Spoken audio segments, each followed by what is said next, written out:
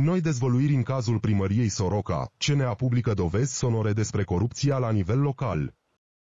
La scurt timp după ce au avut loc perchezițiile la primăria Soroca, Centrul Național Anticorupție a emis un comunicat oficial care vine să adâncească scandalul de corupție. Într-un gest neobișnuit, CNA a anexat la comunicat un fișier audio în care se aud vocile persoanelor reținute, discutând despre sume de bani, ceea ce pare să confirme suspiciunile de corupție care planează asupra funcționarilor din administrația locală. Deci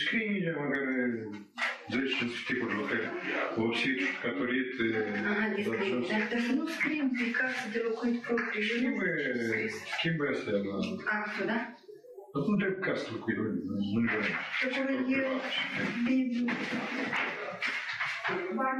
Conform comunicatului, ofițerii CNA și procurorii din cadrul Procuraturii Municipiului Bălți au desfășurat percheziții în mai multe dosare ce vizează fapte de corupere activă, corupere pasivă și trafic de influență.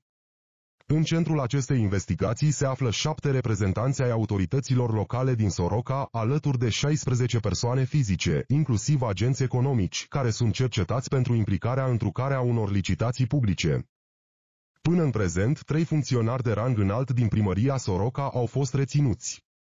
Printre aceștia se numără arhitectul șef al primăriei municipiului Soroca, viceprimarul și secretarul Consiliului Municipal. Potrivit autorităților, aceste persoane sunt bănuite că ar fi favorizat anumiți agenți economici în obținerea contractelor cu municipalitatea în schimbul unor remunerații licite. Sumele de bani erau, se pare, transmise prin intermediari, iar funcționarii ar fi trucat licitațiile pentru a se asigura că acei agenți economici obțin contractele dorite.